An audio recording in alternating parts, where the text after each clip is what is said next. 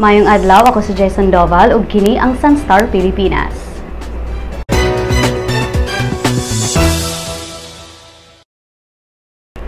Mga creations sa Cebuano designer nga si Kenneth Cobonpue may bida sa APEC Welcome Dinner Night sa MOA Arena sa Manila kagabi. Matod sa Cebuano designer nga inspiration niya sa pag-design sa MOA Arena ang Banawi Rice Terraces.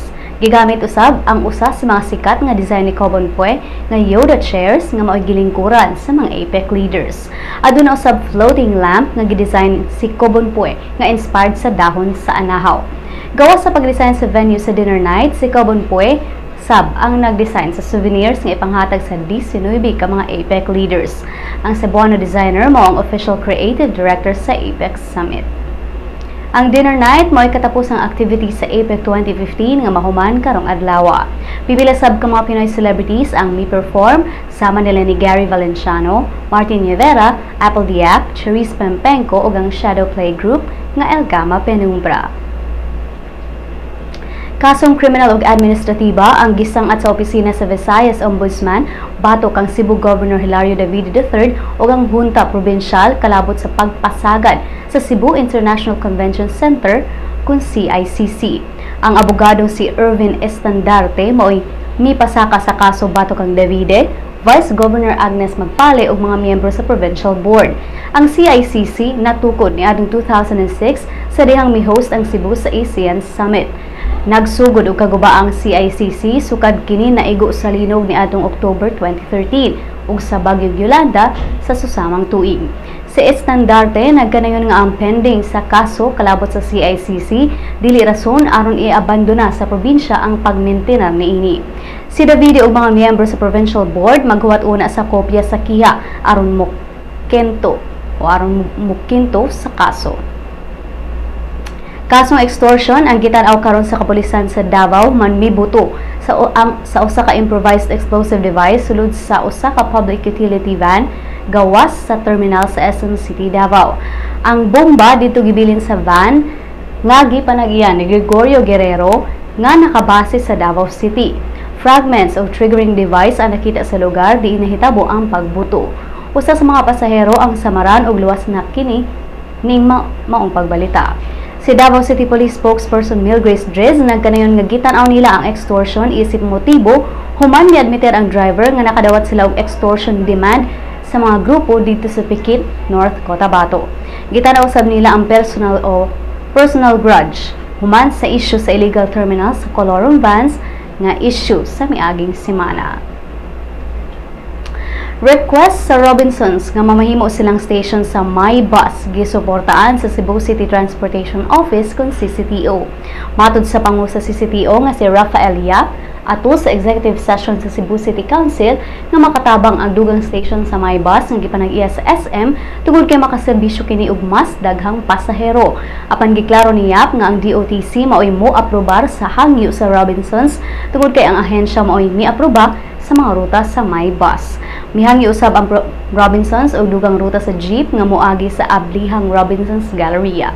Matod sa Robinsons nga posibleng mudaghan ang mga pribadong sakyanan nga moagi sa maong mall kung kuwangan ug mga mubiyahing jeep sa maong lugar. Apan siyap miingon nga dili na ni kinahanglan tungod kay aduna nay igong mga jeep nga moagi sa maong mall. O gani ang mga balita gikan sa ubang bahin sa nasod.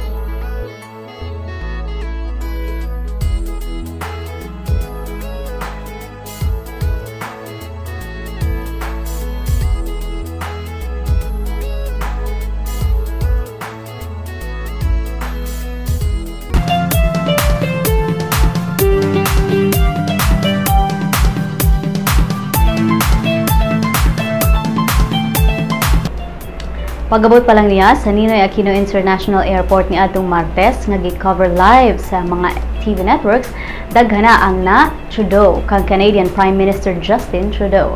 Gani gitawag siya og si Mexican President Enrique Nieto nga APEC hotties. Si, Tru si Trudeau nga ikaduha sa listahan sa mga hottest heads of state list anak o ganhi Prime Minister sa Canada. Mga reporters nga ni cover sa Business Forum nga guest si Trudeau nag-ilog aron maka-cover. Maka si Canada at asa Canada adunay Trudeau mania tungod sa kasikat ni ini. Si Trudeau nahura lang sa isip Prime Minister duha ka semana pa ang lilabay. Alang sa uban pang showbiz chika, bisitaha ang celebrity.sunstar.com.ph. I-follow po sa Twitter at Sunstar Showbiz. Sa lotto results, wala nakadaog sa mga premyo sa 655 Grand Lotto o 645 Mega Lotto sa mga bula kagabi. Bulahon uni ang 649 Super Lotto o 642 Lotto.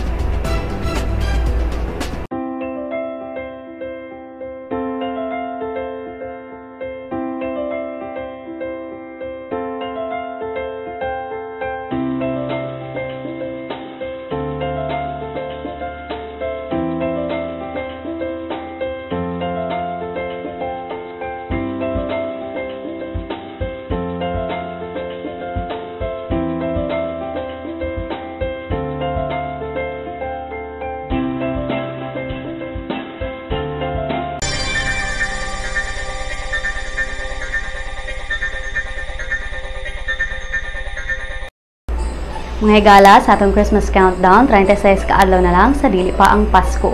Ug din natapos ang atong mga balita karong adlaw. Alang sa dugang pang updates, bisitaha ang www.sunstar.com.ph. I-follow sa mga mga updates sa Twitter, Sunstar Online o sa Facebook, Sunstar Philippine News. Ako si Jess Sandoval, kini ang Sunstar Pilipinas.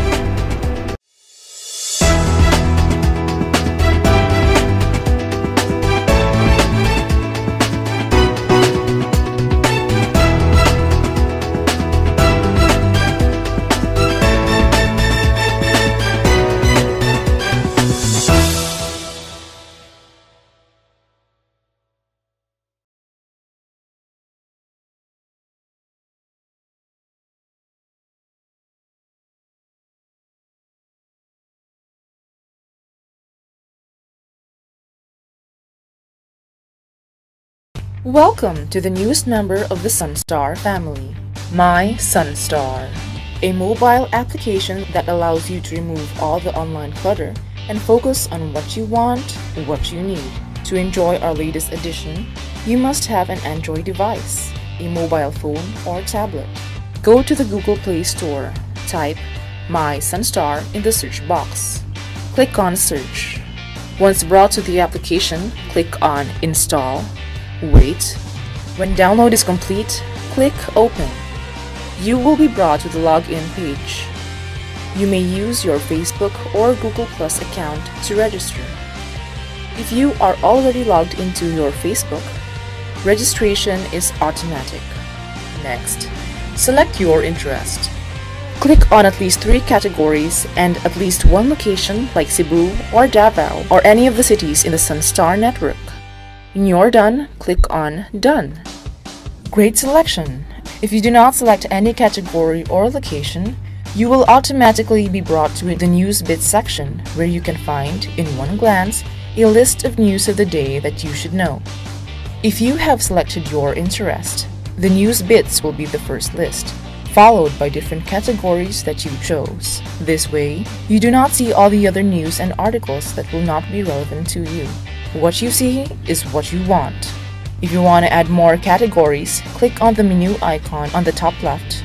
Choose My Interests. Select again. You will also see in the menu information prepared specifically for the mobile app. These are Lotto, classifieds on jobs and properties, and obituaries. What makes My Sunstar different from the Sunstar website and the responsive mobile site is its customization feature. You be the judge of what is news to you. This app will also be available soon on the Apple Store so those with iPhones and iPads can enjoy My Sunstar. Thank you.